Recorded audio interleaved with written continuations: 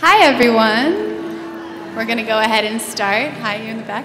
My name's Jenny, and I'm proud to be presenting on behalf of the Brooklyn Museum tonight. Um, for and well, I'd like to start by welcoming all of you to Thursdays at 7 at the Brooklyn Museum. Each week on Thursday evening, we offer programs that range from film screenings to conversations to music. And once a month, we offer a program titled In Conversation that addresses a specific um, hot, hot topic issue. Um, this evening's or this month's In Conversation brings together project and thought leaders in a discussion that seeks to empower um, community members, organizers, and artists to confront issues surrounding uh, globalization and gentrification. Um, it's my pleasure to introduce Todd Lester, Executive Director of the Global Arts Corps, founder of freeDimensional, and creator of Lanchonete.org, to begin our, our conversation tonight. And thank you all for coming out. So, uh, my name is Todd Lester, and I'll just briefly give the names and a little bit about some our panelists this evening. So, on the far end is Paula Segal. Uh, she's the founder of 596, one of the founders and, and lead coordinators of 596 Acres. Um, she's also done a lot with street law teams, and like, the list could go on and on. Um, Sarah Schulman, right beside her, is the author of 16 books, one of which is Gentrification of the Mind Witness to a Lost um, Imagination. Oh, goodness, I always, whew, sometimes I forget whenever I'm in front of people. Uh, welcome, Sarah. Mitty Owens, to her uh, left, is uh, a community organizer. He's been living and working in Brooklyn for many years and uh, has been working with FUREE, Families United for Racial uh, Equality and Economic equality. Economic Equality. And um, beside him is Risë Wilson, the founder of the Laundromat Project. So I'd like to first thank all of the panelists for agreeing to join this discussion and just tell you a little bit about why I wanted to bring this group of thinkers and doers together. Of late, I've been occupied with, or preoccupied with, the question of how do we live with money? And this. how do we live without it? Good question. how do it's almost like the uh, the We'll, we'll get there. I was going to say it's almost it's almost like a relationship that is not good for you, but you're not sure whether you want to live with it or without it. I feel like money is kind of that way. Um, I have for the last 10 years been an arts administrator and specifically an artist residency administrator. And therefore, I've become, say, acutely aware of a double edged um, discussion around what art can do for communities. Um, I think behind the claims of what art can do for communities, there, there is what it can do and what it does end up doing. And I would say that the difference between those two realities is 5, 10, 15 years of engaging and holding steady and continuing to build consensus in an evolving way and not um, not acting like once consensus is built that you can move on and that it stays that way, it stays stuck to the, to the bulletin board, but that it is a living thing. Um, I'm also these days particularly interested in a growing, a growing rubric, uh, creative placemaking, that I've been hearing a lot of lately um, in the same discussions as economic development. So what I would like to do before I invite the panelists to tell you a little bit of what's on their mind, what they're doing in their daily practice, uh, what worries them. I, these are some of the questions I asked them to consider as they took this theme of globalization and gentrification um, to bear. Uh, but before I do that, you all know what we're going to talk about tonight, and perhaps you know some of the speakers. And I'd like to see very quickly if there's any pressing um, ideas or questions that the audience might have. I'd like to ask for one, two, or three just 10 second interventions where you could, we can test the temperature a little bit and you can put some questions at the front of the table rather than in the Q&A that will follow the discussion. I've already heard one, one lady in the second row say, How do we live without money? Are there any other um, observations on the, the topic or pressing ideas? Got one over here. Uh, mine would be why here and why now? Anybody else, very quickly? No pressure. We'll, there's one in the back row here, and then we'll.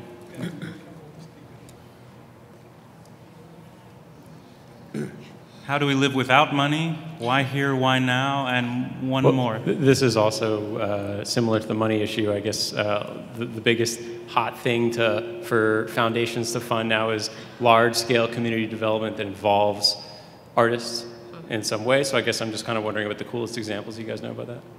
All right. Or just sort of any thoughts on how to move forward in that direction. Okay. Did you say artists in, in subways? No. Large scale community development. involving art. How to involve artists in that in some way. Some ways, not subways, because there is also an initiative for artists in subways. So I wanted to make sure. okay, thank you for those questions. And um, what I will what I will do, and I won't take much time doing it, is I will try to answer the why here, why now for me and for the convening, and then I'm going to hand it straight away to Risë Wilson to talk a little bit about her work. Uh, why here, why now for me is that you know, I've been in, in the Bed-Stuy, Clinton Hill, uh, Crown Heights neighborhoods of Brooklyn for over a decade. Um, I am an artist and an organizer and an administrator, and I get into a lot of discussions about the pace of our interventions and innovations in communities. I know, having started a few things, that when I get the zeal to start something and I think it's a good idea, I don't just give lip service to consensus building, but I do get a little bit of, I get a little crazed and excited and ready to implement the idea. So the ongoing dialogue I have with myself is remember that consensus isn't stuck to the wall, that it's an ongoing thing, and how do you make sure to calibrate the pace of what you're doing with the community's desires and their invitation to do so therein. Um, I get in a lot of conversations with artists where gentrification is this sort of guilty. Um, we talk about it, but we dance around it and we replace it with other words that rationalize our relationship to it.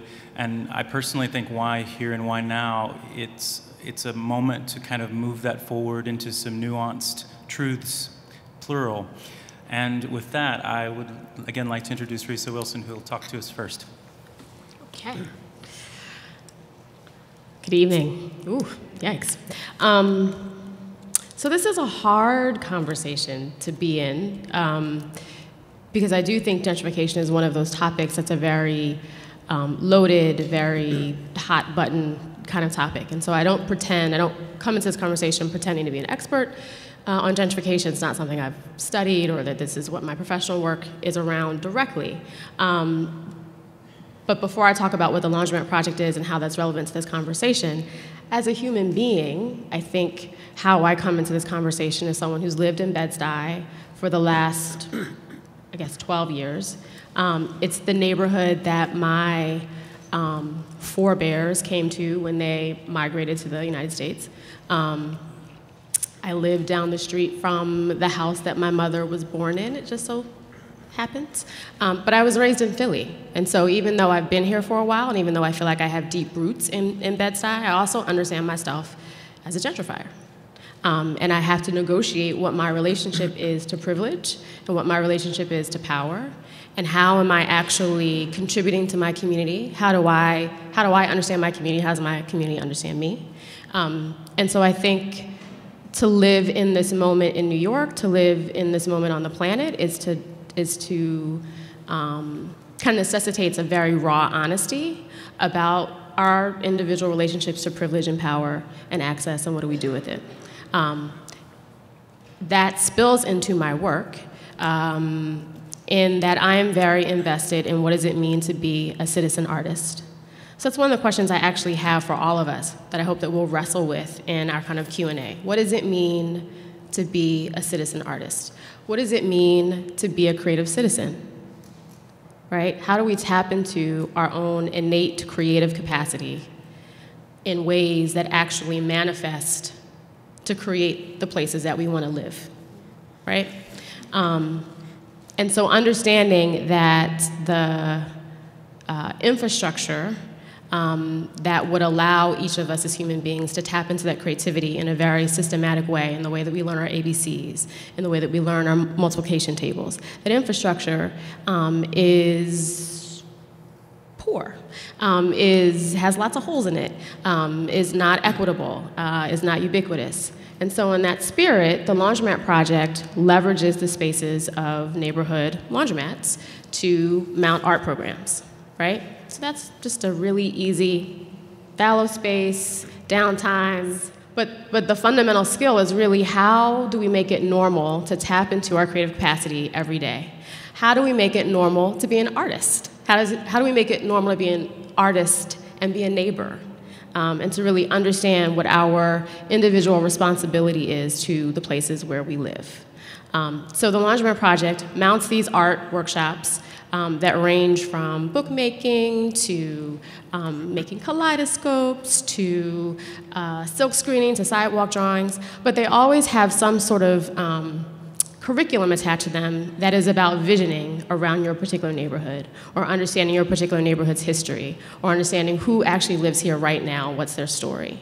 And so it's as much about um, meeting your neighbors, whether you are three or you are 83. Um, it's, you know, this kind of unexpected delight in seeing your neighborhood in a new light, because it's also kind of like, what is this?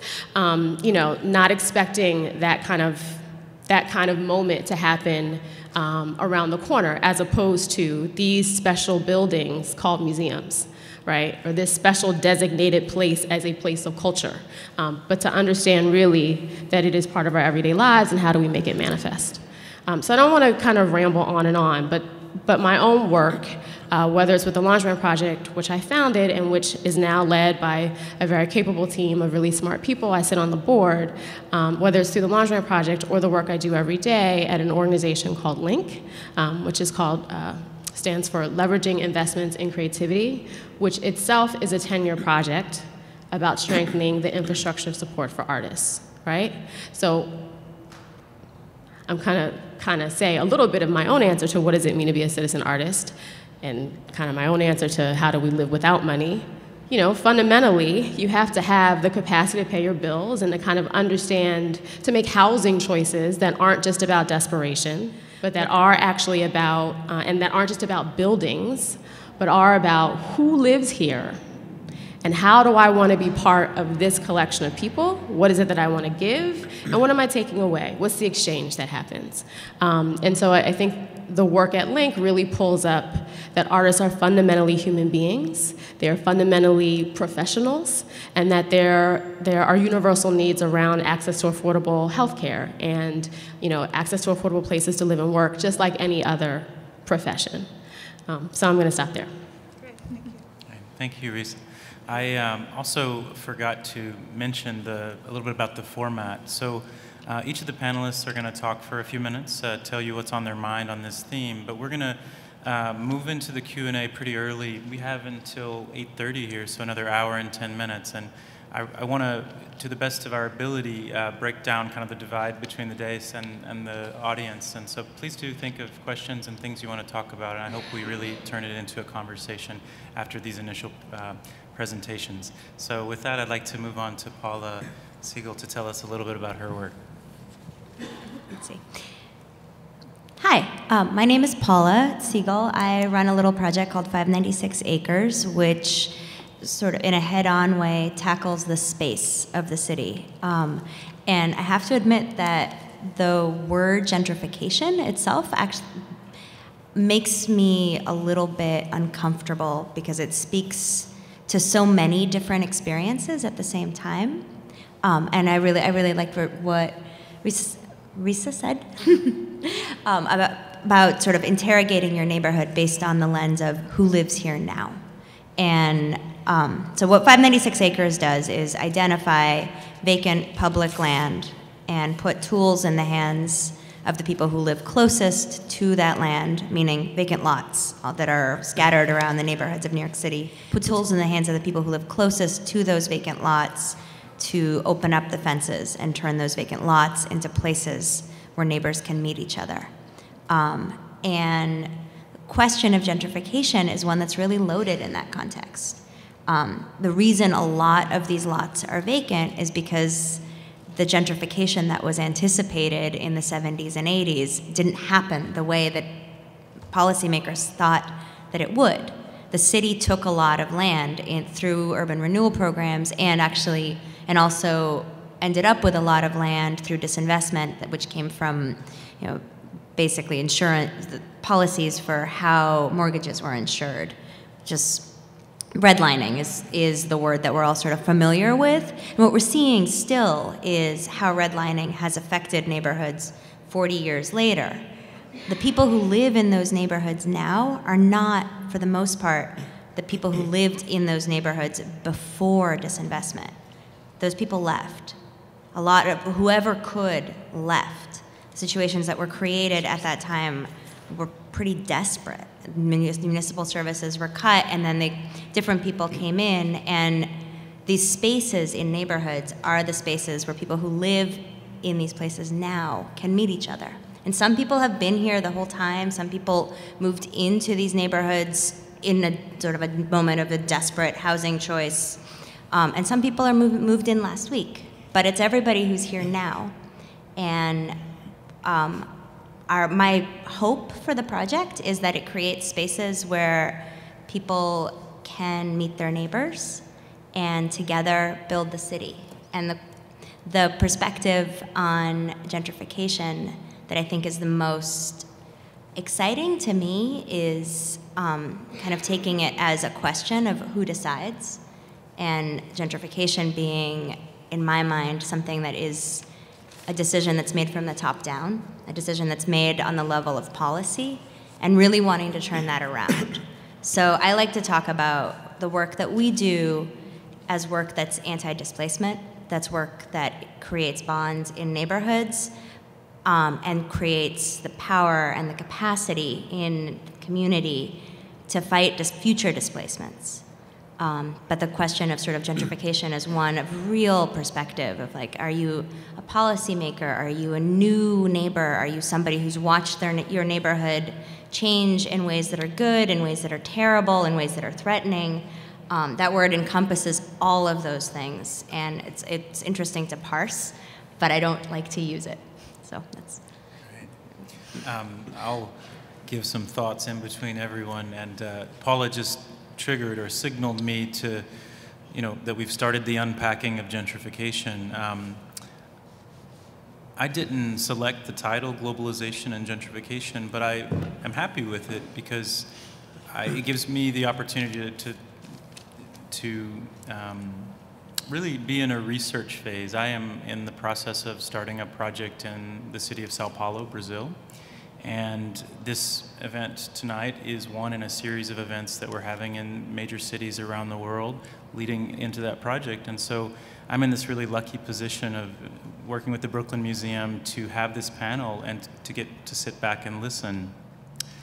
And the reason I am glad that those two words got together in the title is because in some ways it feels like they are they're very similar um, phenomena and since I've been working in Brazil of late, I've heard this other word that sort of fits right in between them, which is called Brazilianification. And so, if globalization is the, the world and if gentrification is the city, Brazilianification is devi- defined as the state of the disappearing middle class and the broadening gap between the rich and the poor.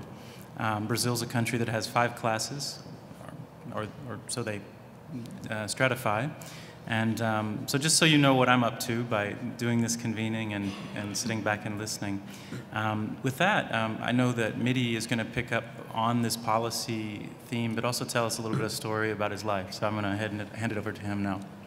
Hi, thanks, Todd. Um, so, wow, when Todd gave us uh, this topic and the different iterations, it was big enough already. And then entering into the space and hearing your questions and hearing my co panelists, it's, it's even more huge. And so, I wear a number of different hats um, most of the time. And tonight I'm going to start with my party promoter hat because I want to invite you all to, for the after party at my place, which is fortunately is just about eight blocks away, because we're never going to end this conversation by 8:30 in a meaningful way because it's so rich, there's so much. So um, I'm sort of serious about that. But if not tonight, then let's definitely have a follow-up.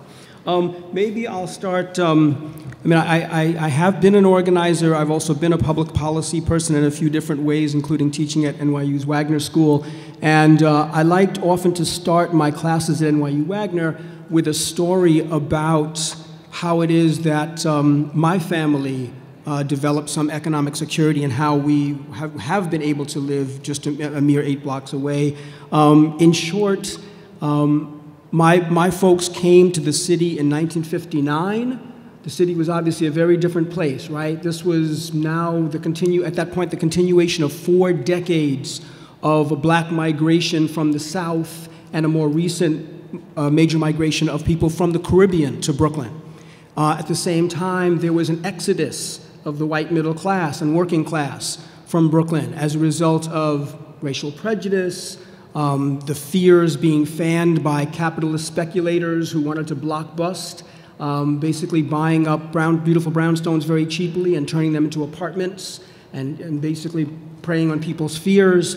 And let's not also forget the federal government incentivizing people to leave the city, incentivizing some people to leave the city by building highways in the suburbs and new developments like Levittown, and not only the highway infrastructure, but then enticing them with very affordable mortgages and the insurance and um, and so a lot of people were fleeing, people who could go there without getting crosses burned on their lawns. Um, and so the city was a very different place. Home ownership was declining, city services were declining, the tax base was declining. And yet, still, some people had the vision to see how incredible these neighborhoods were. The architecture, the streetscape, um, the incredible warmth of families, the community despite the odds. And that is the world in which my parents entered. And after being renters and you know, frugally saving, um, and, and uh, my mom uh, dutifully combing the streets with my oldest brother in the stroller, she found a house on Prospect Place between Vanderbilt and Carlton and said, Oh my God, we have to have this. Well, it was only eight blocks away from Grand Army Plaza, where my dad had become a, library, a librarian, one of the first black librarians. He was making 7,000 at the time, 1959. They were both educated. They did the right thing. They were on that American dream trajectory. And they had heard that mortgages were being provided at 80%, so only 20% down. Even they, with their meager savings, could manage that at the 13,000 level, right? 20% down. Except when they looked into it more closely, those 80% loans were being made out in the new developments in Levittown, in the suburbs, because those were the federally insured mortgages that, the, to the banks that were made at 80%. In the, back here in the inner city, with our existing infrastructure and beautiful brownstones, but which didn't quite make the federal government's guidelines of large lots, single family detached homes, and homogeneous communities. That was actually codified in the Federal Housing Administration's guidelines until 1962 when JFK uh, got rid of that through an executive order. So in the inner city, you could only get a 50% loan. So suddenly my folks had to come up with 6,500 bucks, nearly my father's annual salary.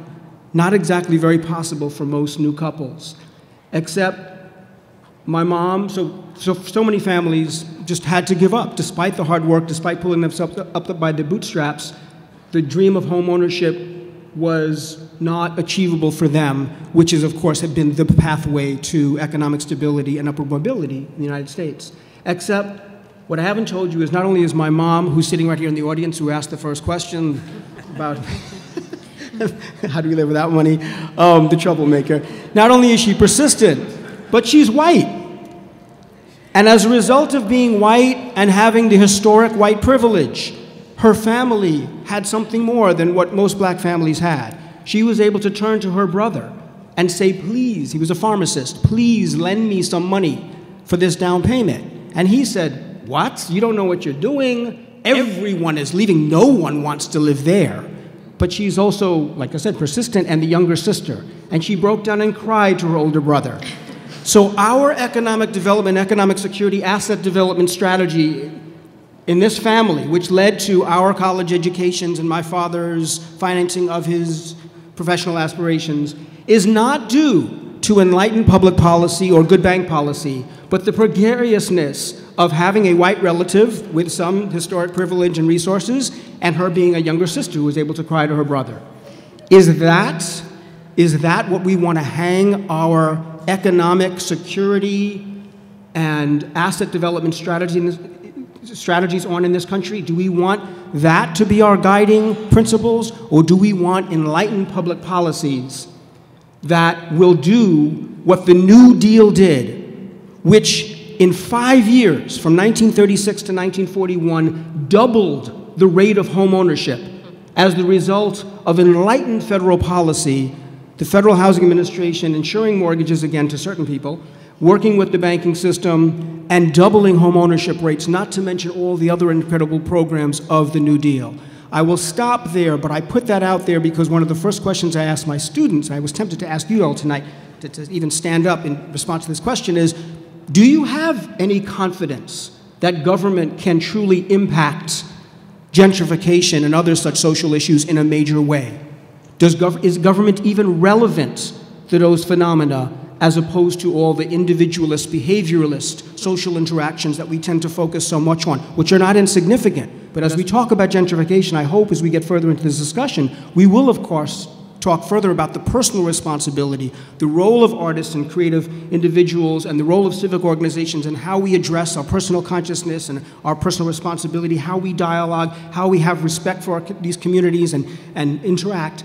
But there's something even deeper than that which is how do we have more enlightened public policy which sets the foundation because globally, going back to globalization, there is a global phenomenon indeed, as Todd said, and that is the concentration of wealth in the hands of very few and the denial, the, the reduced democracy, certainly in this country, of the many to be able to control our resources, our communities, and our politics. It all goes together. So I hope we will be able to come back to these myriad themes. Thank you. Great. Thank you, Mitty. Um, Mitty, could you please run for mayor? Seriously. Right. he, he, is from a, a, family of politicians, ah. I believe. Um, Sarah, before I give you the, the mic, may I say just a few more announcements? I, and I'll admit, this is not by design. I should have said some of these things before everyone started, but I was so anxious to get into the discussion, and it also shouldn't be overlooked that last night we had part one of this two-part event at a gallery in Manhattan where visual artists Nikki Singleton and Brian Halloran responded to Sarah's book, Gentrification of the Mind, with an installation and performance. And that has kept us up for uh, the last three nights. Uh, so uh, some of it is actually me being forgetful. Um, but uh, what I would like to point out before Sarah starts is that my, uh, my math, my counting on four fingers here says that everyone on the, on the table is an artist. Uh, I know at least Mitty is a drummer, whether or not he takes it any further than that. And I've heard so far the first three uh, talks really sort of leaning into administration and policy. So I hope that I can ask the audience to help me suss out the artistry and the art practice of the folks here at the table. Uh, I'd also like to mention that we have a class who's uh, on winter uh, intercession at CUNY from the Pacific School of Religion. So at the very least, I hope those students will help me ask those questions. And before Sarah starts, I want to also give a plug for her book, that Gentrification of the Mind, tonight. If you would like to have it, there is a 20% off coupon on the back table, and you can order it with that discount. And um, I'll start uh, to introduce Sarah by saying that in her book, um, she says that gentrification is a process that hides the apparatus of domination from the dominant themselves. And uh, with that, I'll give it to you, Sarah. Okay, so I want to tell the same story that you told, but a little bit differently. Here's my version of the history of gentrification in New York City. World War II, they had the GI Bill. And the GI Bill enabled veterans to buy homes with very, very low interest rates but because of, and this was actually a way for the government to put money directly into the hands of developers who were developing the suburbs. So it was a government policy to funnel federal funds into the hands of developers. Because of race, racism and racial discrimination, these suburbs were not available to veterans of color. So this is what motivated what later became known as white flight, the movement of ethnic whites out of the city into these suburbs. And these suburbs were racially stratified. They, had, they were very conservative arenas, privatization, compulsory heterosexuality, car culture, consumerism, highly, highly stratified cultures in which those former urban citizens were now raising their children in an opposite environment from the environments they had grown up in.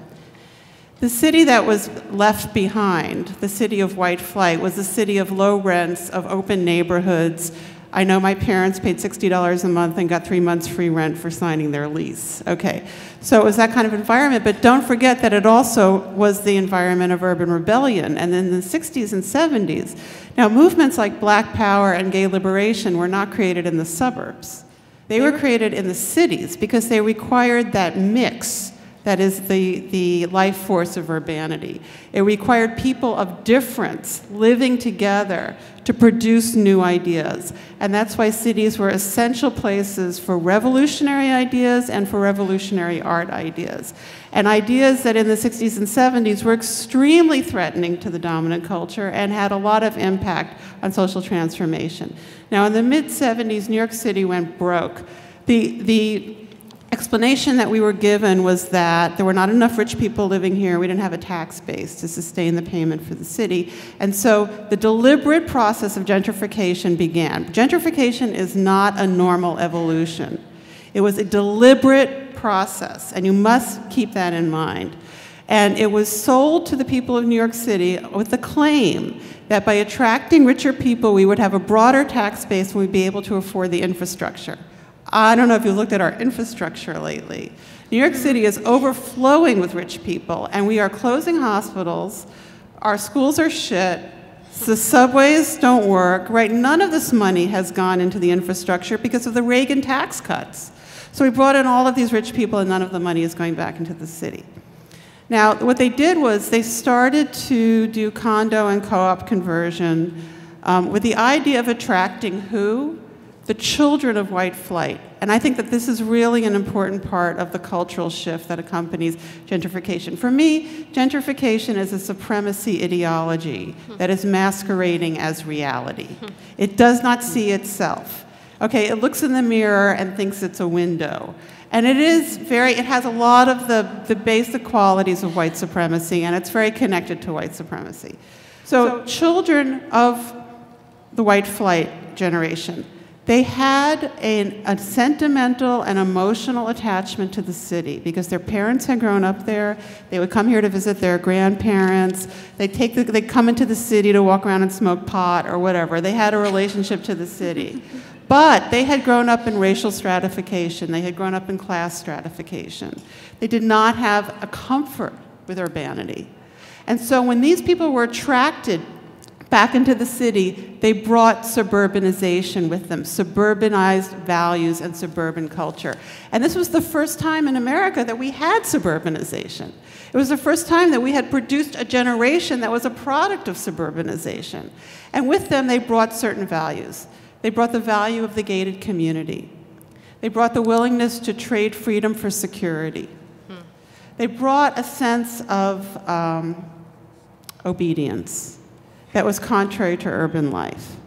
And so you start to see, as the city, through corporate welfare, which is what it was, okay, tax breaks to wealthy developers. This, as the city started to bring these people in, there started to be a flip in the perspective of how things were assessed. So, for example, a neighborhood that was now becoming dangerous to its inhabitants was called safer right? Because it's not from the point of view of the inhabitants. When a neighborhood became homogenous, it's called better, but actually it's worse. So, what starts to happen in New York City, and the reason I've called this book The Gentrification of the Mind, is that the homogeneity undermines urbanity, and therefore the city becomes less and less a place that produces new ideas. And you know, what's really interesting is I realized um, very last night, actually, that the word gentrification has a different meaning for, for more recent arrivals to New York and younger people than it does for me. For me, gentrification is a replacement process. It's an undermining of diverse, businesses and mixed communities that are affordable, and a replacement with a bland and boring and banal, homogenous suburban aesthetic that weirdly views itself as hip and cool when it's actually incredibly tedious. but that's not what gentrification means to people today. To them, it means they see all of that homogeneity as neutral and as the way things are. And when those places get replaced by Dunkin' Donuts and banks and McDonald's, that's what they're calling gentrification. But what's actually happening is that low income people have no place to buy anything. So they're being forced into these fast food chains and these, um, you know, the kind of things that, you know, Dunkin' Donuts, these types of places, because the places that uh, New Yorkers found affordable and expressed their culture in were already destroyed. So that's where I see that we're at now. Thank you. So, um, Okay, that's it. that's it. Well, I, I'm watching both Mitty and Risë sort of write furiously. I can't see the tablets of Sarah and Paula, but I think that there's some reaction.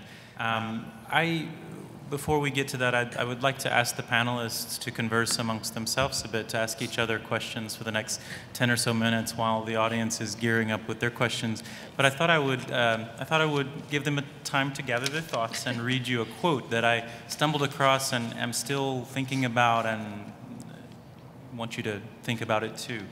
I have not read the book Telegraph Avenue by Michael Chabon, but I did read a review about it in the American Reader, and this is a passage that has stuck with me. I have nothing against Michael Chabon, by the way. Um, Michael Chabon cannot help but fall into the trap Pierre Bourdieu, in distinction, ascribes to the Narodniki of all times and all lands, that of confusing one's relation to the working class condition with the working class relation to that condition. What this means for Chabon is that the research process itself infiltrates the fabric of the object of research. It installs itself as the grand narrative, excuse me, as the grand metaphor behind all other activities in an endless series of knowledge checks, culture checks, and taste checks. Now, why I wanted to read that is as, um, as a culture worker, as an artist, as a sometimes per, you know, person with an idea that I want to activate quickly, this slows me down. And um, that's one of the things I wanted to talk about tonight was what slows you down? What, um, how do you make sure, and this is a question to the panel, how do you make sure that you are working in tandem with the communities you're working in and not outpacing them uh, with the added value that I believe everyone at this table is making? Um, I'll start with Risë. I, I met Risë um, some eight, nine, ten years ago, I guess, uh, right when um, the laundromat, before I think you, you proposed the laundromat project, and I remember when it kind of got off the ground, and when I believe it was, it was intent, the intention was that it would be one laundromat that the project would purchase and that the, the income would cross-subsidize the artistic activities. And I'm probably simplifying that, but I think that in the meantime, you've moved into a sort of scaling out of that idea where rather than immediately purchasing a property that you're actually engaging autonomous laundromats with your idea. And in some way that speaks to the pacing question I'm asking, where mm. I see that you have actually opted to work in more than one neighborhood and not take sort of a capital um, expense on as a project manager. Mm-hmm. I'll just leave it at that and see if you have anything to anyone's res- remarks you'd like to say. I would love to tell you that that was out of some very deliberate, strategic, what have you, but I think it really does reflect a lot of what has been pulled up, right? Which is, um, you know, uh, our policies, our structures have not been designed for people of color, women of color, without a lot of money, to go buy a building to go be a commercial landlord to go i mean that's that's more the reality than um, you know this very strategy.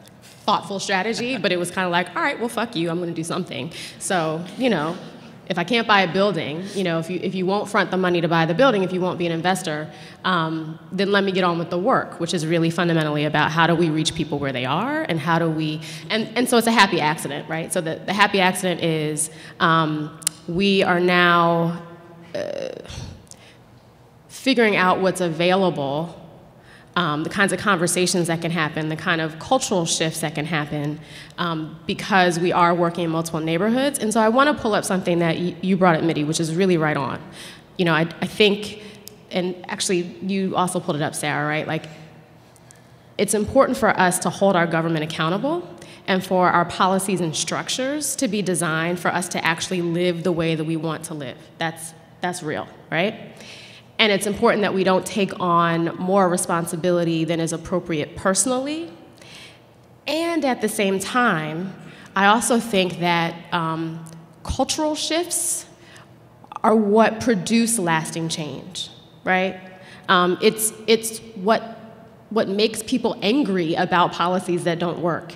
It's what produces, it's, it's all the dynamics that you're pulling up, right, about how we imagine something different. And I think that there's, there's a reason why there are many people that are complacent with the kind of guilty elephant of, I know I'm a gentrifier. And I think, you know, we have to own our agency in upholding the effects of these policies, right? So, how do we get honest about negotiating what access to power we have and how we're exercising it. Um, whether that means that we, you know, those of us who have the capacity to advocate for different policies are doing that, whether that is those of us who are cultural workers who want to see some sort of difference, um, are thoughtful about the, the way that we invite someone to consider what we're doing and understand it as a proposal and not my inherent right to do this just because I live here and this is my address. Um, to just I think culture is very real. And so I'm really interested in how we negotiate um, the, the happy marriage of the two, of these kind of cultural shifts and structural shifts at the same time.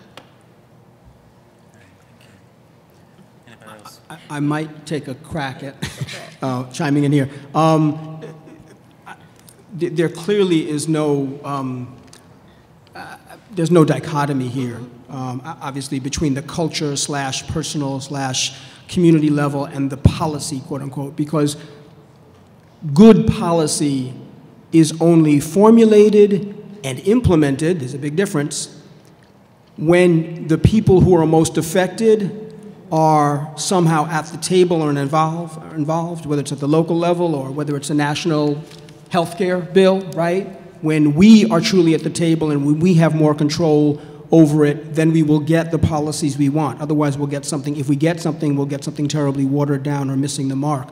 So one of, one of the questions that was going through my brain for the two of you, uh, Risë and, and Paula, was, is thinking about how you all, are you able to use the public spaces that you have or private spaces that you then are able to transform into public space, which is so fantastic, and then the, and the, and then the public lots to, to facilitate dialogue, community dialogue about issues. And how, what is that process like?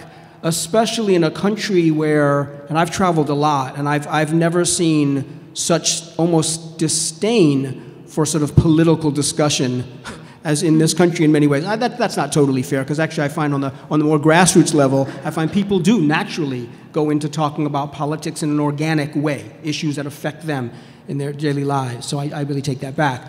Um, so, what is that process like? Is there discussion about deep, meaningful things and, and a, an orientation towards, yes, we can use this space and this dialogue to, through the creativity, through the public space, to organize, mobilize, put together an agenda? Does that transform into taking power and taking action? Go ahead. I mean, this, this kind of goes to the mechanics of how 596 acres works, um, but it continues to stun me.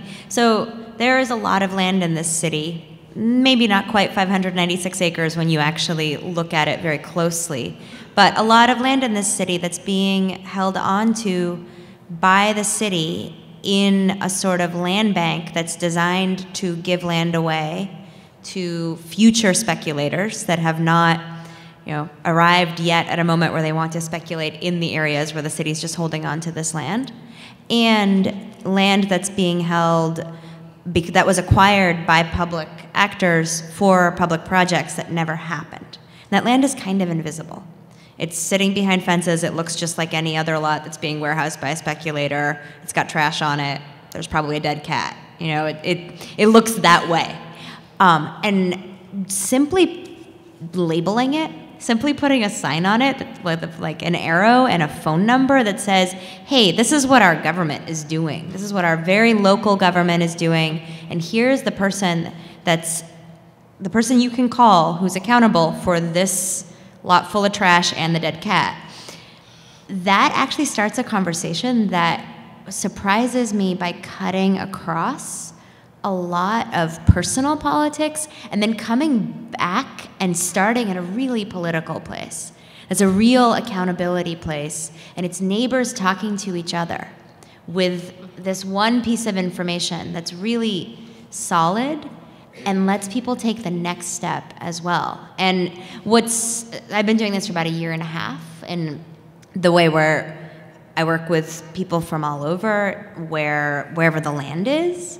Um, and what surprises me is how much I see over and over again in these different groups, some of which I haven't even met. I, know sometimes we'll get an email or see something, how much they're suddenly engaging with their community boards, their local council races. People are asking questions that are super mechanical about how civic associations work, how government works, how money is distributed in the city, for people to be able to talk across difference um, and ask real inquisitive questions instead of political questions about how how government structures our lives. I think figuring out ways to do that is really, really important. And what we have is like this one little key that turns one little lock that lets that happen. And if we could do that everywhere, I think we would have we would have real accountability. We'd have real demand for accountability. Uh, I think Todd mentioned earlier that I was involved. I am involved in bringing street law programs to youth around New York City. Um, I'm actually trained as an attorney, and I've spent some time working for a civil rights firm. And in law school, we actually set up a system so that anybody who's a teacher or works at a community based organization can have a centralized way of saying, hey, I'd like a law student or an attorney to come and do a street law training that's a harm reduction training in constitutional rights and how to deal with police encounters. Um, and setting up that infrastructure also is another way. There are no answers, and when you show up in a you know a ninth grade classroom to talk about how you know a particular neighborhood is over policed and how particular individuals could maybe protect themselves in those encounters, you're not going to stop, stop and frisk, and you're not going to stop the violence of those interactions in people's lives.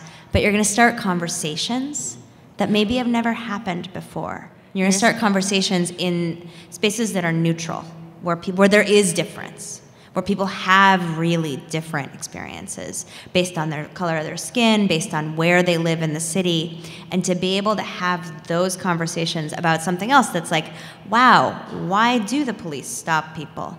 And to start that, to be able to start those conversations, again, little tiny key, but it's building a constituency. That's sort of me talking about me. But. I just want to talk a little bit about the gentrification of the arts, which is a big factor in all of this. Um, you know, the, the, I, I think that the, the proliferation of MFA programs and the professionalization of the arts has had very significant consequences on gentrification. Um, if you, now that basically you're required to get an MFA if you want to have a professional career. If you want to teach in your field, you have to have an MFA and it's it operates as a um, you know it's a, it's like a gang system, right? Um, so everyone, so the other people who have your brand, whether your brand, you know, whatever your school is, that's your gang and that's your brand, and those other people with that brand will help you, and that's how you advance. Now, there's so the, the, this all produces homogeneity for a number of reasons. The first thing is a community does not have an entrance requirement, right? Anybody can be in a community. But if you have to apply and be accepted into a professionalization program, they're already filtering you. So they want a certain type of person. And you also have to be able to pay, right? And we know that these things are grossly, I mean, the idea that somebody pays $200,000 to get an MFA in poetry is really crazy. Okay. So now you've been filtered in. You're the kind of person that they want, and you have the money, or you're willing to go away into debt, and you have the time. So already, most people who would have become artists without those conditions are not going to go into that system. Then you come in and you have common influences. You're reading the same books, you're listening to the same teachers, right? This is counterindicated to art making itself. Art making is about individual vision. And, you know, before this professionalization was imposed, you became an artist by making art, looking at art, and talking about art, basically, with other artists. And each person had their own path through life, and you would eclectically acquire information or, or be exposed to things or read some book or whatever, and each person develops their own points of reference and it becomes their vision. But when you systematize it and you make it mandatory, then you have very, very narrow range of work that gets created with shared vocabulary and values that are class-based and mostly racially based and repetitive. And this is just killing the arts in New York City. I mean, it is, you know, sometimes like I'm a novelist and sometimes I'll sit on a panel or something and I'm looking at, and you can tell what program people went to by how they write. I mean, it's so mass produced. Um, and I want to say that I want to go back to Peter's question, which I think is really important about why here right now. Why now? And I think it's because the gentrification discourse is itself becoming gentrified. You know, one of the things about capital is that it's able to absorb everything. You know, and as soon, and I've had this experience, I'm old, I'm 54, and I've had this experience multiply that you, you do cultural activism, you discover something, you develop it, you articulate it, and as soon as it becomes viable, they swoop in and take it from you. And even the gentrification discourse itself is being branded and marketed. So that's why, you know, here and now. Yeah. Thank you. Um, okay, so Sarah did kind of get to the art of it all, but uh, we still need to hear from Paula, uh, Risë, and Mitty about their own artistic practices. So I'm going to leave that to the audience because we're pretty swiftly going to segue to um, Q&A because I'd really like to hear what you all are thinking and what this has provoked in you. Before the video changes, because I think that's what's about to happen, let me tell you what you've been watching and what you're about to watch. So the slideshow right now is a, uh, a mix between some images from 596 Acres and some images from a, a, walk I took in Sao Paulo with a photographer photographing lanchonetes. Um, and I just thought I'd share with you a little bit of my passion. Uh, Paula is also a, a, fellow lover of Sao Paulo, I believe, um, knowing her work there. The next slideshow you're about to see is from Housing is a Human Right. It's an organization based here in New York, I believe. Risë has helped us get uh, a slideshow movie of some images, and they go pretty slow, so we'll put them on as the backdrop for um, the Q&A. And Todd, could I just interject about sure. your project because I watched a video that you have online about your project, and one of the things that I was that was so intriguing um, for me about the Luncheonette project is I believe you said that the luncheon in, in, in, Sao Paulo, which is rapidly changing and gentrifying, that the luncheonettes are one of the few remaining spaces which were publicly accessible and attracted a cross-class group of people. So you'd have various people sitting there, and that was one of the few spaces that really facilitated that interaction. Right. I guess laundromats, one, one could say, right. in, in, in, changing neighborhoods could also do that. Um, so, although obviously the, the very rich don't have to go to the laundromats, but luncheonettes, everyone needs to eat, and they eat out. So that was intriguing for me, because otherwise I was wondering why the luncheonette and, and that, that particular space as a, as, a, as a place that facilitates that interaction is, uh, in, in, in a changing demographic is curious to me. You gave me a wonderful setup. I've promised that I'm not going to belabor the Luncheonette project too much because it's a five-year project that just started and I'm still in a really uh, exploratory mode with it. But I will say that there are postcards on the back table if you'd like to read a little bit about it, and I will speak to that very briefly because I think it's germane to what we're talking about. I make the argument, or, or maybe the hypothesis, I'm not sure yet, I don't want to be too academic with the project, but I say that in a particular area of the center of Sao Paulo, Sao Paulo being a vast space, unlike, say, Rio, where the favelas are in the mountains, and so poor live on top of rich. In Sao Paulo, it's vast and wide, and so the poor live at the periphery. But there still remains a center of the city that is, let's say, ungentrified, and it is slowly being squeezed out and pushed to the periphery. And this includes all of the uh, South and Latin American diaspora communities, Bolivians, Haitian community is in the center, the big marketplace. And it's an old architecture. So my argument is, is that even though the lanchonete is ubiquitous in the, the city and in the country, there are thousands, they're like our bodega, the architectural design of the lanchonete in the center, which is changing, are open front and or open corner, meaning that in some cases two walls are removed where you really can walk through the corner and be in a lanchonete. So it's I'm not hyper focusing on one lanchonete, but really just the symbolism of here's this space where you do still get the brushing of elbows of different classes, taking their coffees, taking their vitamina uh, juices in the morning, uh, watching a football match, etc. So please pick up the card. And um, a couple more plugs before we switch to the Q&A. I know that uh, Paula has a book that's on the back table or maybe on the front table from the 596 acre project. It is for sale for $10 and if you happen to have one, please don't forget to pay her. And um, with that, are we ready to talk? Do we have questions already? Um, I see Caron Atlas at first. I see some other hands. Here's the deal. Please do not talk for a long time. Like, ask, you know, ask a question. I'm also going to apologize to this side of the room. I'm a little bit like Barbara Streisand in the sense that this is the side I want to be filmed. I will turn around and I will see you. so, uh, I'm going to start with Caron Atlas's question, and um, we'll go from there.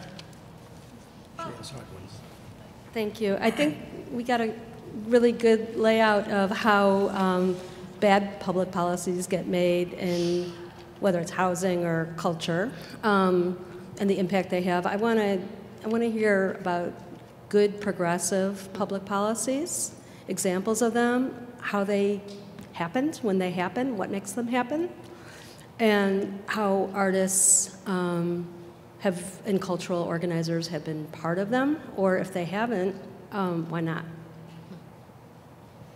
And we'll go one by one for now, and and just anyone on the panel can answer to that. If we get uh, sort of jammed up, we'll take a few at a time, but we'll start with that. Um, I, I, can take a crack. Um, well, I guess about two decades ago, Fort Greene, two decades, yeah, I guess two decades. Um, Fort Greene really experienced a major renaissance um, from and by, you know, the black community. Spike Shop came in. Was it 20 years ago or even more? more? Yeah, Spike Shop came in, 40 acres and a mule. Yeah.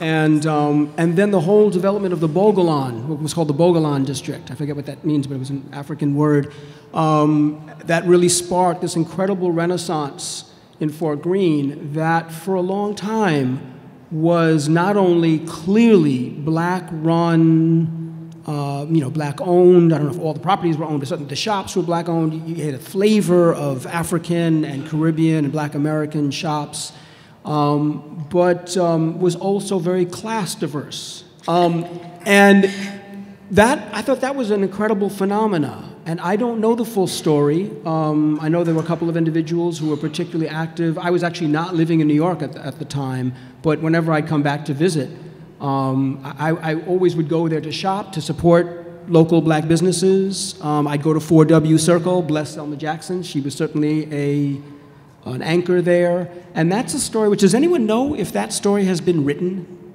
It that, has not. It really needs to be. No, it's not. Oh, is there? Movie by Nelson George about it. Okay.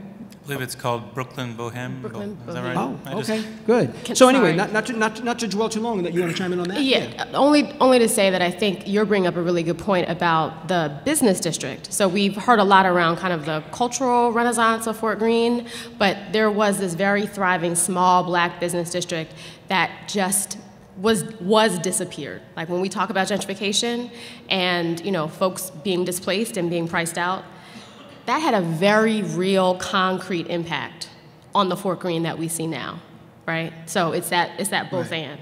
Right, and some of those businesses were able to hang in there, but you know, a lot of them were displaced. And actually, you know, it's interesting because obviously BAM is right around the corner, but in terms of the the that strip itself on Fulton, there was such richness culturally that even though I don't remember if there were art shops particularly, there, it, it, always felt artistic and, and it was certainly culturally vibrant um, and, and very creative. And then, um, yeah, then the various you know, forces over the more recent years um, developing. Anyway, so let me just also mention that. Um, uh, you know, this, this is a different place, but, but certainly in, in New Orleans, post Katrina, there's been a lot of attention to the you know, nefarious forces wanting to really do a lot of gentrification and push a lot of folks out. And uh, there's been a group of artists along like the St. Claude Avenue Strip that have really been an anchor at facilitating dialogue. And so everything that, that Sarah was saying about the arts from the, sort of a conceptual and intellectual framework, which I, I so appreciate in terms of independence and um, you know, a bulwark against the homogeneity and the commercialism, I totally agree with. There's also, of course, a more utilitarian approach uh, and role of, of the arts and, and artists, facilitating in a creative way the dialogue, creating that space for people to come together in a safe way. Um, and a number of artists there and, and a theater there, a community theater, have facilitated that process to make sure that as they have improved the community and brought in, brought in better transportation, improved the housing stock, et cetera, that the people who have hung in there and been there, the indigenous businesses and, and residents, are not automatically pushed out. They still are concerned about that because you need rent control and, and, and stabilization, commercial and, rent, uh, and, and residential. Um, you need inclusionary zoning. You need a lot of different good public policies to ensure that those things don't happen. Um, before I take a question from this side, Caron, did you want to suggest something that you know of? Um, back to you, Caron Atlas. Um, is there something, an example of just the same question you asked? I mean, I think what I was trying to get at is that we spend a lot of our time talking against gentrification and less of our time talking about what are the public policies we want and what does affordable housing look like, what does the fight of artists alongside of people for affordable will housing look like? And I appreciate the New Orleans ex example. All right. Thank you. I, am going to give a little plug for Caron and speak to the participatory budgeting work that she's doing in her district as a culture worker extraordinaire. Thank you, Caron, for being here. Mm -hmm. I'm going to go here. Tony Lester, um, no relation, but a good friend.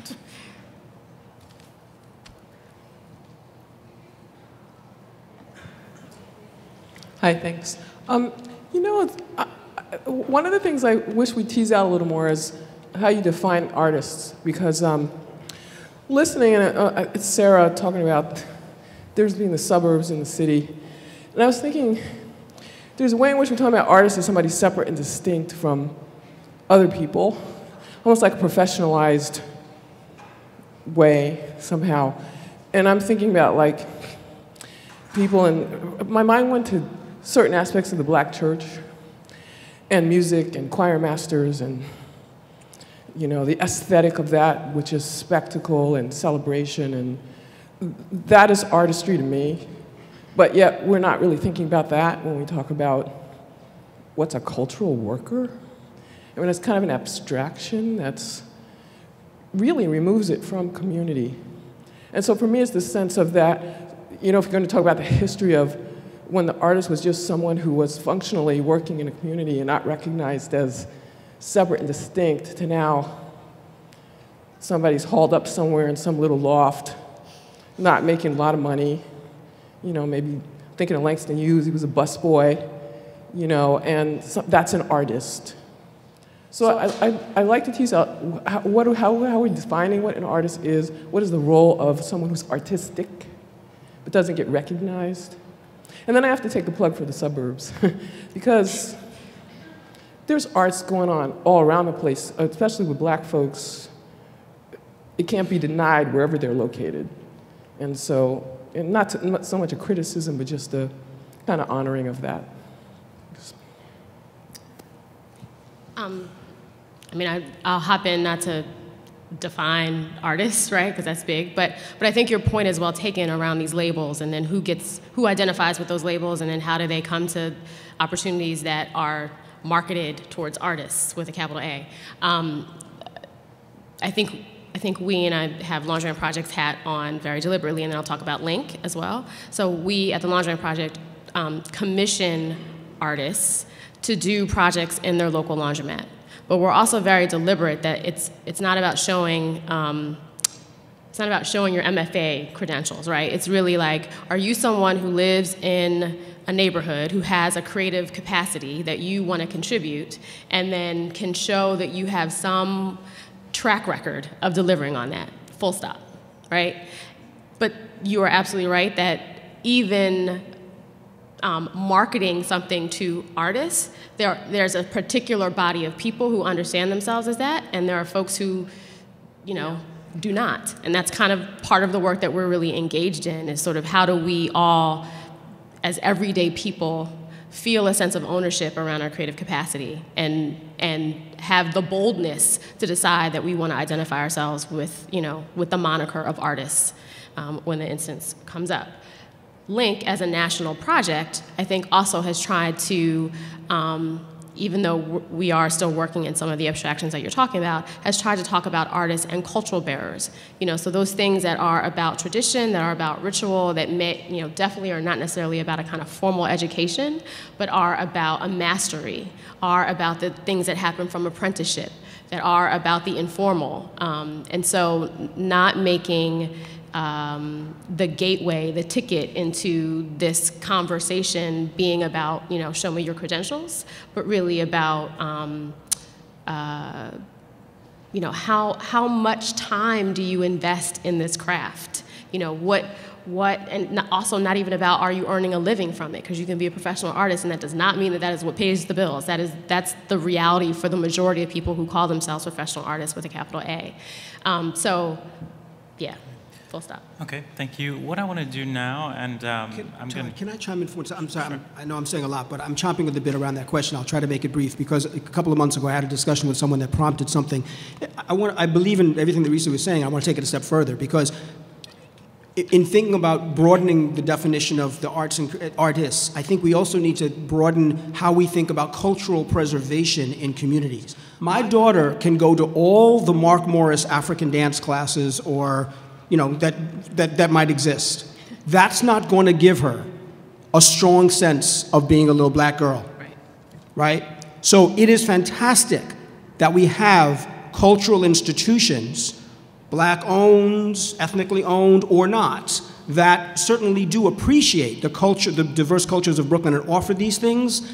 But if our funding and our focus is only on those cultural institutions as opposed to looking more deeply and profoundly at how is culture preserved. For any of you, Irish, Italian, Jewish, whatever, how does your culture get inculcated in you and your children? It's not through just going to classes. I mean, that might be a piece of it, you know, and, and many Chinese folks go to Chinese class, language class, but even there, it's being surrounded by businesses and people and traditions you know, and so when you mention the church, and I'm not a churchgoer, but I certainly appreciate the role that the church plays in transmitting some fundamental things about black culture. I also think about the pan yard, the steel pan hmm. yards in Bed-Stuy right? Those will go away. Those will not exist with the gentrification. Where will all the folks who produce the incredible carnival, where will they produce them? Will they have to go out to the suburbs and be pushed out in the outer boroughs, uh, I mean, outer, outer areas, in order to be able to then come back in? They produce those if you go along Nostrand Avenue. That is a place where culture is retained and transmitted.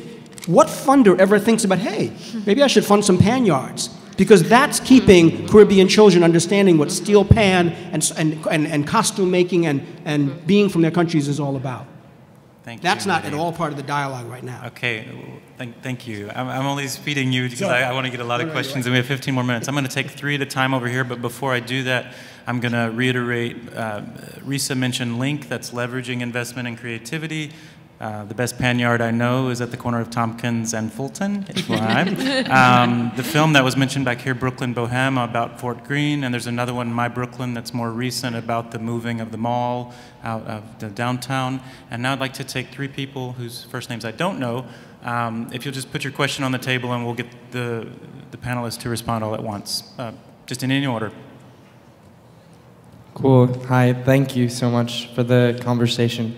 Um, he started off by asking like how do we live with money and um, i'm just wondering if it's useful to like have a conversation about gentrification and also globalization without talking about capitalism and capital. And Sarah, you briefly mentioned like the idea of capital, and so I'm just wondering what your thoughts are on that and money, and if it's just reached the point of this like totality that we don't feel we have the liberty or freedom or language to like think outside of that, and and how we can imagine outside of that.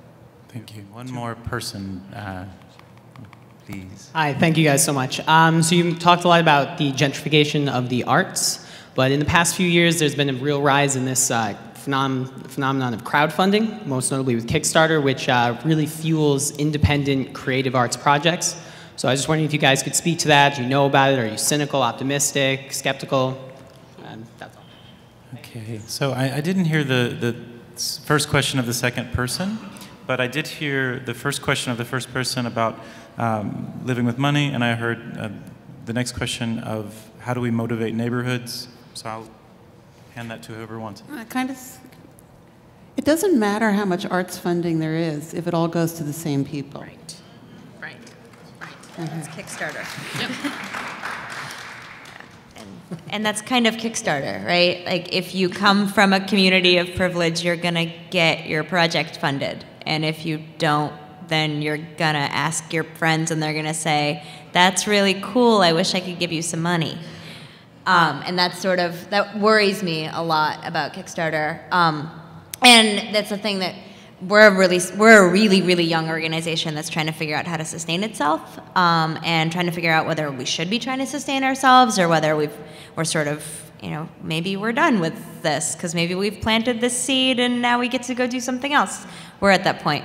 I'm not asking you guys for advice, um, but the the Kickstarter thing is is real. It's like okay, so how do you leverage privilege? How do you leverage access to information? Um, we try to do that as a practice in terms of what we're actually doing, but in terms of sustaining ourselves and how do you live with money or without money, which is what I thought your email said, actually. And I was surprised to hear it the other way.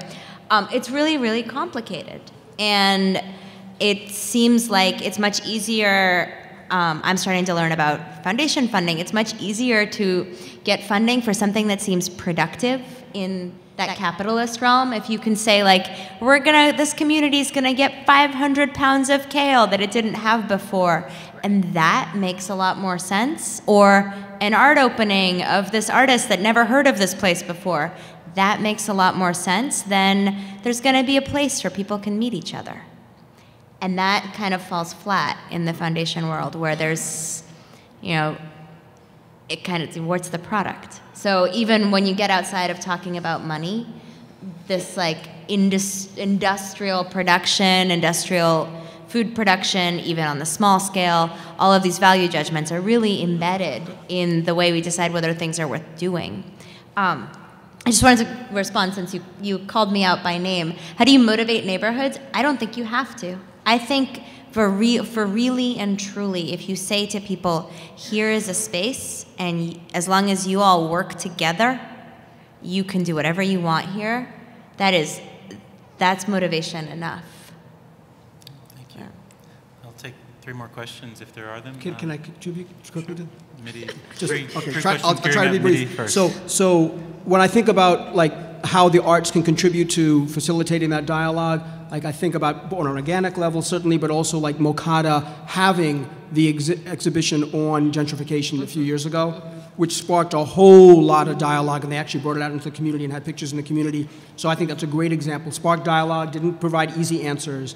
Um, and linking the first question and the last question to capitalism with the Kickstarter, and I, I think that's essentially what you were doing. There, there are fundamental issues of privilege and access, and it's, it, what, what has happened in society is that we're on such a treadmill, the 99% of us, simply to keep our heads above water, that most of us, even though we're creative and brilliant or whatever, do not have the means to develop our creative talent. They're brilliant doctors, scientists, poets, whatever, but we are working for the man just to pay for the rent, the rapidly escalating rent, the health insurance, etc. And so when I look around, there's less social mobility in the United States today than there was in the 1920s. Hmm. When I look around me and I see those people who are doing really creative, funky stuff, and they're actually surviving off of that, they're basically living off of subsidy. And I'm not putting it down. If they got that means, great. They're living off a trust fund, they're living off their parents, whatever, that's great if they can do it. But the fact is that let's recognize that there are all such other people out here who are just as creative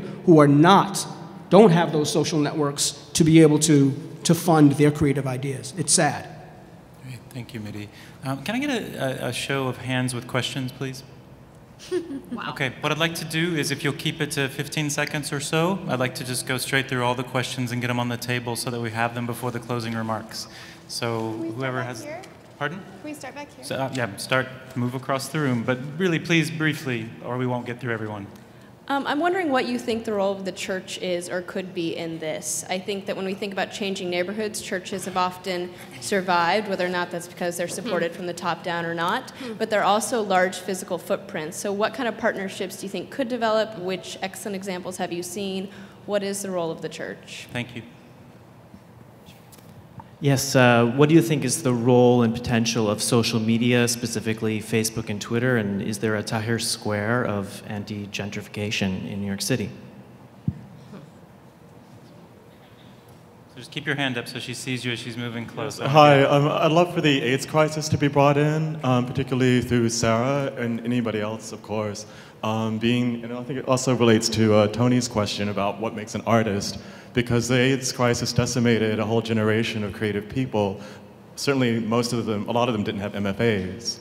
And um, being 51, holding a place on 14th Street in the East Village, this is a, and a long-term survivor. The homogenization of gay culture, I think, is tremendously tragic. Thanks, Eric. Um, uh, my name is Andrew and I've done a lot of work in East Harlem along issues of gentrification um, with a project called El Barrio Tours. And the, the biggest struggle I had was how to communicate. How do you communicate um, to white liberals who might look at uh, a community that they're just moving into and be completely, you know, out of their element? How do you communicate to them, understand they are part of this community, how do you establish a relationship with them and work with them to move forward? The second thing is then how to work with my own community as a Puerto Rican. How do we get people who are at risk of gentrification, how do we get them to realize that and then get involved in the fight before someone's knocking on their door saying they have to leave? So we kind of touched on how um, to get across differences, but how do we get to people um, who are living day to day, how do we get them involved in the fight? Because if they all just stand together, their asses in their own seats are their biggest asset. But how do we get them to realize that? Because I'm, I grew up middle class, I'm very lucky in that. So I can dedicate sometimes to this. How do you get people who are working two jobs to get involved? Thank you. to add another question. Um, I, I, I, was wondering how the hipsterdom fits into this. I think it's uh, the what? It's, it's, Hipsterdom. it's always a punchline, a joke. People even laugh when you say it. But there's something. Uh, it's not about tight jeans. There's something very sick about using education um, as uh, depoliticizing education, using it to build people's tastes, as opposed to using it to learn about your position in the world and how you need to fight for the things that are important. So I'm wondering how that, and I see that as a in Sarah's book, I kept thinking of that because it really fits into that kind of blanding of culture and, and defanging of people. Hmm. Thanks, Brian. So we need to move a little quicker or everybody won't get to go, and I'd really like everyone to say what's on their mind, those who have their hands up. So.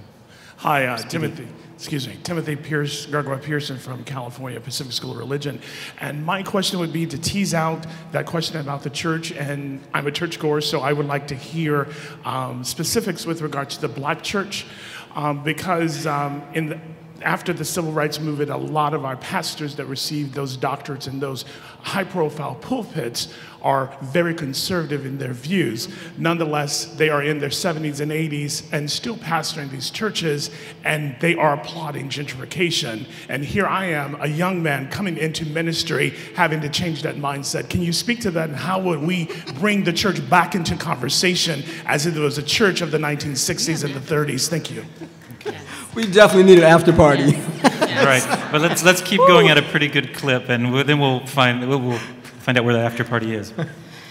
Hi, my name is Silver. Um, I'm very, and I have no MFA, by the way. I'm a novelist, and uh, I, I wanted to ask Sarah, I thought it was very interesting your comment about how the dialogue, I believe that may not have been the exact word, on gentrification has been gentrified itself. Um, I'd like to hear more about that, wondering if you were referring to the sort of here we are, sort of white liberals, uh, not everybody's white clearly, but there's a sort of a certain artsy thing going on, and um, going to the word globalization, how that would fit in in terms of you know, who's really pulling the strings at the top of all of this is a global elite, and that does go across racial and ethnic lines. It's all over the world. So um, I was wondering if, if that has anything to do with what you're talking about in terms of can we expand the conversation to be about a much higher strata of power and how that controls. And Thank you. anyone else quickly, if wants to talk about the Barclay Center and why they think didn't work, that we opposed it and it's still Great. there. I love to jump up, but I'm a little incapacitated at the moment. Um,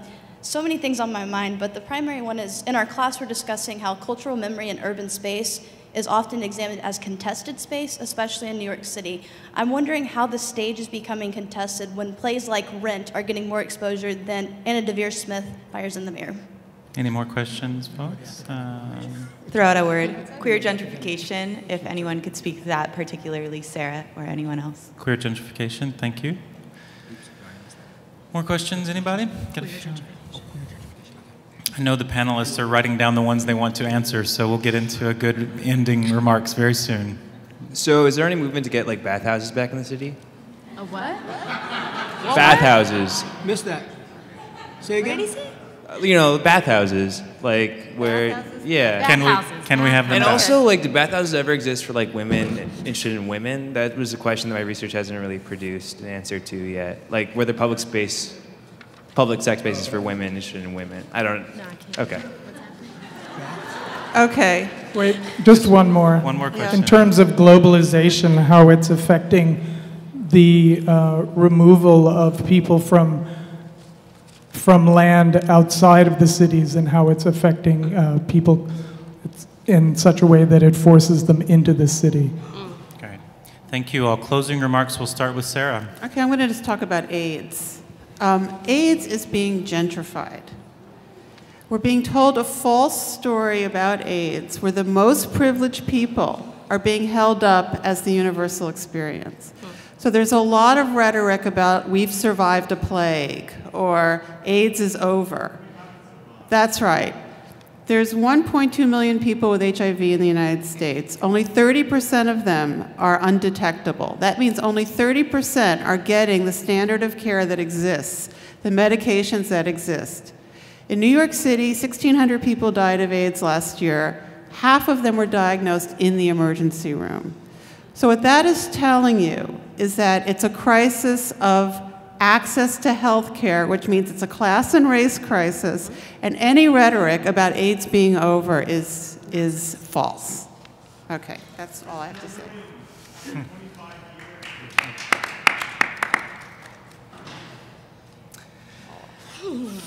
Um, Take a I- breath. I, I, I might try to use the church question as um, a vehicle to talk about something broader than may be essential here, which is the, the vital importance of independence. And the black church, which again, I'm not an active churchgoer, but certainly as the, the first person mentioned, there has always been an opportunity, um, more or less realized, for the church to have to be a real independent voice because for the most part it's supported by its own congregants. And therefore, in theory, it should be able to remain, certainly when they own their own space and their own voice, as an independent voice. Now, broadening that out, the importance of independence here, as Sarah certainly so wonderfully pointed out, that we are losing those unique independent voices as, as we are driven in a profit maximizing, homogenizing, commercializing culture. So, any space that we have, on the macro or the micro, to have that independent voice to facilitate those dialogues, we need to grab.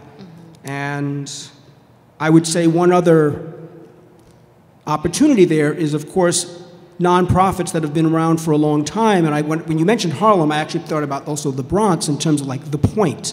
um, or in Williamsburg, El Puente, some organizations have been around for a long time that have been able to hold, it, hold on, even though they're so dependent on, on funding, which of course is not you know, self-sustaining, um, but to, to also be a place for community voice and, and, and protecting that community space. But again, they're always in a precarious position. Um, the very last thing I guess I would say is, again, this balance of sort of the, seeing gentrification on the personal and social side, um, both the, the, problems of those moving in. I'm less concerned about those who are moving in, and the sort of, I'm more concerned about all those who have to be pushed out, who are losing ground.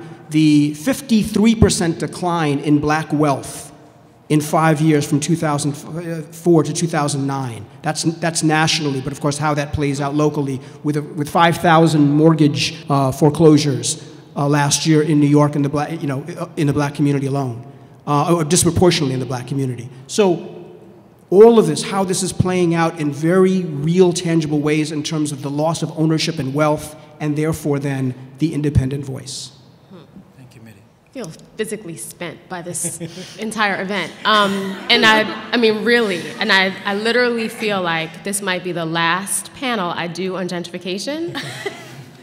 For real, because I actually think it's really crazy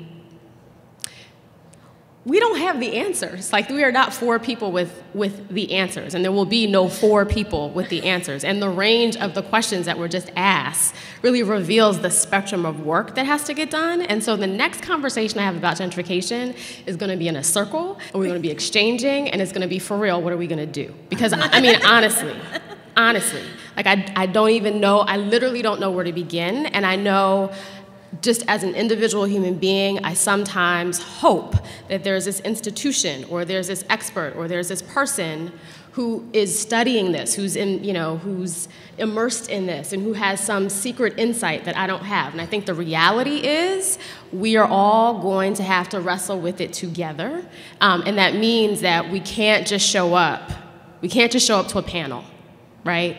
And I, I, think I'll, I'll answer your question most directly around how are we getting all the various actors who are stakeholders in this conversation, which is everyone, right? How do we get all those actors to be having the conversation? I mean, we're, they're, that's not going to happen when we have it at the Brooklyn Museum. And I love the Brooklyn Museum, but that's not going to happen here, right? So, how do we actually force ourselves to, now that we have been in this room, say, I'm never going to have another conversation that's academic, that's theoretical, that's just, you know, let's compare ideas. Like, for real, if we're going to talk about it, let's talk about it. What are we going to do? That's it. Thank you, Risë, and thank you, everyone. Um, so, Todd, can we ask, does anyone, do we or anyone else know of groups that are really focusing particularly on this issue citywide? Should we, can we name them either arts groups or organizing groups or some combination of both so we can at least put that out? Like I think of Right to the City, I think of housing as a oh. human oh. right, but I don't think of many groups that citywide are, right. are really fostering that dialogue and action plan. Does anyone else? But again, yeah, more in locally. FUREE, Fifth Avenue Committee make the road and locally, but citywide.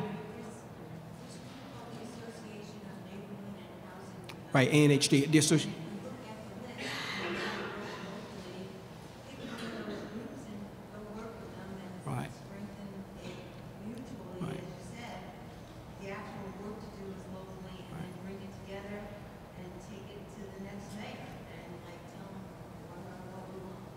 Tell him what's up. Listen, I just have a few closing remarks, and then I think we don't get pushed out immediately. You can stick around and talk, which is good. I wanted to go, uh, just in closing, to go back to what Paula was saying. One of the things that has sparked off the Nova Luz uh, development plan that she mentioned was uh, I think the city's first interna international architecture competition. It was won by Herzog de Meuron, and uh, I think that that's something just to keep in mind that that big cities are looking to our big cities, New York, and when these sort of um, status symbols of international architectural competitions and things like that catch on, they, they do have an impact. I'll also give a statistic I recently heard that 30 of the 31 sub-mayors of Sao Paulo are former military. And um, you can imagine what that means when these occupations, who don't consider themselves invaders, as they're called by the government, what it will look like when they're moved out of those buildings. It will certainly be a military operation. Um, Yes, no, I didn't. No. Yeah, well, true. Right. She's a lefty. She Right, right. But, um, Doesn't determine. I, I agree. the person does have a choice. Um, hour and a half is certainly not enough time to discuss this issue and all the issues that it tries to encapsulate. But I would like to thank the Brooklyn Museum for hosting us and letting us try to get it started.